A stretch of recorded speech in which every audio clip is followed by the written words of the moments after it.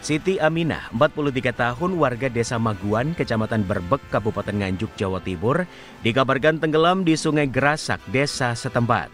Kronologis kejadiannya, saat pulang usai bertani dengan mengendarai motor, Siti Aminah nekat pulang melewati sungai yang memiliki arus kencang hingga korban hanyut terbawa arus. Polisi bersama warga pun melakukan pencarian pada Senin malam. Hasilnya, hanya motor korban yang berhasil ditemukan berada 4 km dari lokasi awal kejadian. Polisi akhirnya menghentikan proses pencarian karena kondisi sudah malam dan proses pencarian akan dilanjutkan pada Selasa hari ini. Dari Polsek Damengkat, kronologinya suami istri, suami dan Siti Aminah itu mulai jam 8 pagi berangkat di ladang ya, menanam jagung. Nah, tapi sampai siang hujan.